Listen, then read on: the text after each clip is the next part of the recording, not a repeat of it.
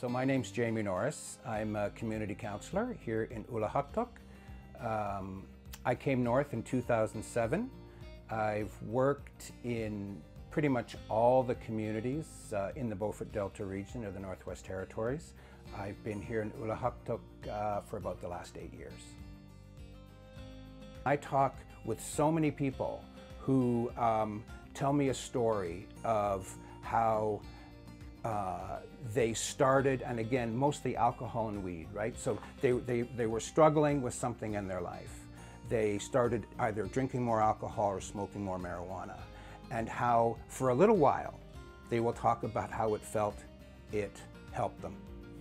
And, uh, and also, and often, and this is a word I've, I've heard used with, with so, in so many conversations I've had, the idea of it, it numbs. It numbs the pain. It sort of makes the pain go away. So of course, what happens is the pain comes back when the person sobers up or, you know, comes down or whatever. The conversations that I often end up having around that are that actually whatever the issue is, whatever the struggle is, it's still there, you know, in our lives when we wake up and the hangover goes or we come down from the high or whatever. Like the, the issue is still there. So then, you know, it becomes a struggle of do I just jump back in for more and that can lead to that whole cycle of addiction? Or do I go, go a different way? How we can talk to, to, to our friends, family about, you know, struggles they might be having. I mean, the first thing is, you know, it's about listening. It's not about talking.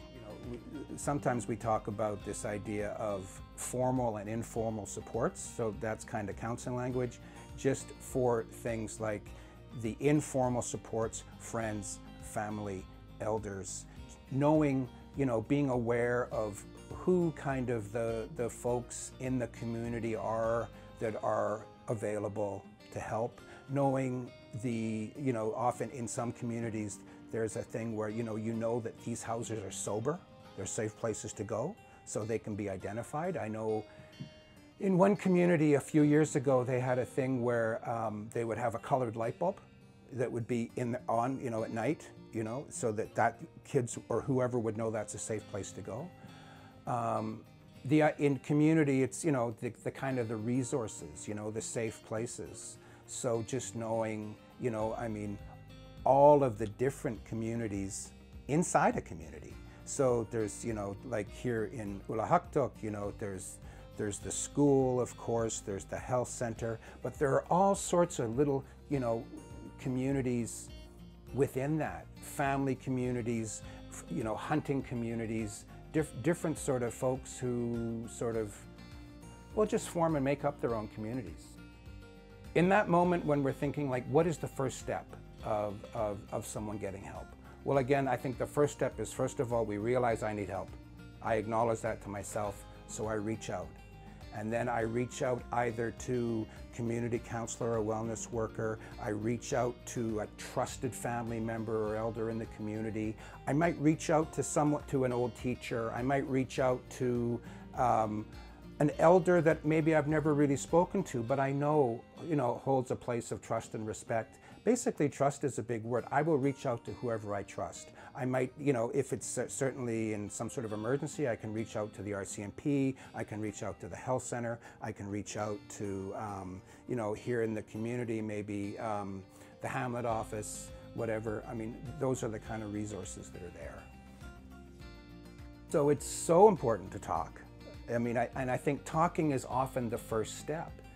And one of the other things I like to do is just to sort of ask folks, can ask us right now in that sense of, okay, just who in your life, it can be, it doesn't have to be like a counselor. I mean, it can be a family member, a friend, a teacher, a coach, uh, you know, an, uh, an, uncle, an auntie, whoever. Um, who do you, who's one person you feel safe talking to? And just, I always like to sort of do that just so, you know, that can be identified and in the back of our minds. And then you know there's at least a place to go. And of course if someone might say well there's nobody um, and then there are you know there are all the resources and stuff that you know we make available. But i think talking ultimately is kind of the start of everything.